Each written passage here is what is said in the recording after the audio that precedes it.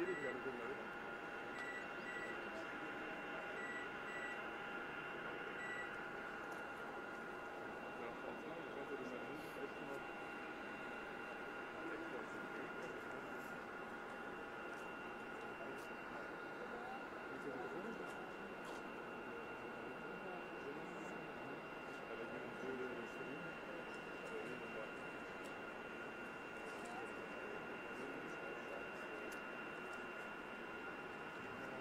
ഒരു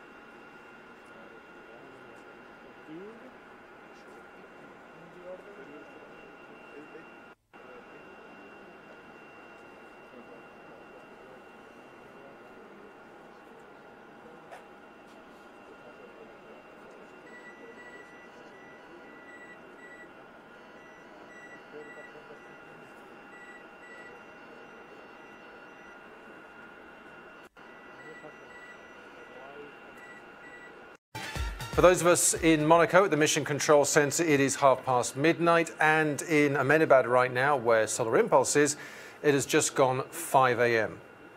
Now, the next leg is, we hope, imminent this morning from Ahmedabad to Varanasi in Uttar Pradesh. But uh, we have some breaking news for you. Uh, you may have seen this already on Twitter. We've sent this on our Twitter feed. There is a slight delay. Now, we had a chat with the pilots earlier, and we just asked for a bit of an update from our pilot André Borschberg and also Bertrand Piccard. Let's have a look. Uh, I think it's not so much challenges, it's more about uh, preparing our, our flights over the uh, oceans. So it's building, building up our homes, really feeling comfortable in this airplane. We'll continue to do some test flights as well. So it's mission training on, on one side, test flight on the other side is to bring the airplane to the next destination. And of course, it's to meet all these wonderful people, government officials, public. I hope to give him the airplane in the best condition, in the same condition I received it from him when he arrived it here. Did you? I hope at this point that you can take off because we still have no clearance. The custom has still grounded the plane and the ATC has said we cannot clear the plane if we don't have the papers of custom. And there are two different opinions inside the custom, so we don't yet know. At this point, the administration lets us go. So you see the type of challenges we have. If we want to fly around the world, it's not only flying. It's a lot about administration. And if there is no adventures anymore in the future, it's not because of lack of ideas. It's because of excessive administration. This I can tell you excessive administration. Who'd have thought that would be the problem today? It's usually the weather, but uh, th this changes things a little bit. I've got our flight director, Raymond Clerc, with us now, the, uh, the man who's going to give the final decision on whether the plane can take off. Hi, Ray. Hi, hi, good morning. Good morning to you. Now, so, excessive administration, this is what we're dealing with today. So, can you give us a bit more information? Yeah, I think uh, we are still missing some uh, document uh, immigration or I don't know exactly. They asked uh, us to provide the flight plan from uh, Muscat to Ahmedabad, which we flew one week ago. We were immediately sending back uh, to India.